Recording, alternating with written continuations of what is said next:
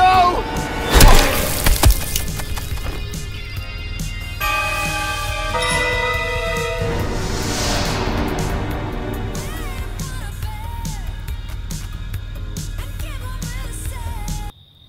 That's my good boy. Mommy has a reward for you. Come home, sweetie.